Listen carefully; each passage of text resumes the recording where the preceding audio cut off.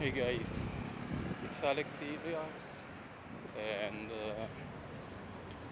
I want to talk about uh, less is more. Less is more uh, currently. Uh, I am shooting with the camera that I am using uh, right now to make the video. So I have uh, just just this camera with me and a little bag right now but uh, many times uh, I go out uh, even uh, without uh, a camera bag. And I think that uh, less is more in any sense uh, because uh, uh, with the camera that is not uh, the last camera with uh, a lot of uh, uh, features is better because uh, uh, it constrains you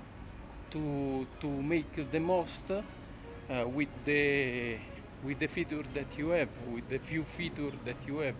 So uh, many times I use cameras that are uh, outdated and uh, and not considered that much right now and uh, also uh, I believe that less is more because uh, uh, by uh, go out with the camera and one lens I have to work in a certain way but uh, also uh, it's easy it's easier to, to work because uh, you, have just a camera and nothing more so you work